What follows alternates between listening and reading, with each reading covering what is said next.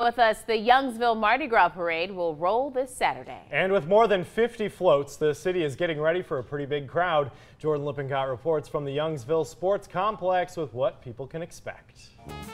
The parade starts here in front of the Youngsville Sports Complex at 11 a.m. It's important to note that there will be no parade parking here at the complex. The mayor is suggesting parade goers to come out early to secure their spots. We're expecting record crowds this weekend. Roads are closing at 9:30. Drivers and riders will need to be in their places at the sports complex no later than 10:30. Have your float lo loaded with beads and personnel before you get in the line because no vehicles will be allowed in the, the float lineup. Police Chief Ricky Boudreaux will lead the parade, and there will be 85 police officers on the route. They will be at every intersection for every road, and with the extra ones, we will place them in between where officers are at. So uh, the only way that you're not going to see an officer somewhere close to you is if you've had too much to drink.